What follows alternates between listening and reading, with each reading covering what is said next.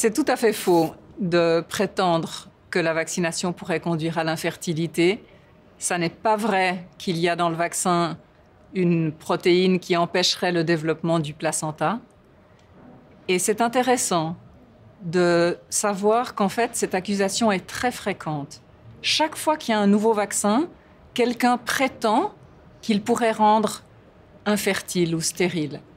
probablement parce que c'est la crainte la plus importante d'une jeune femme, c'est de ne pas pouvoir avoir un enfant.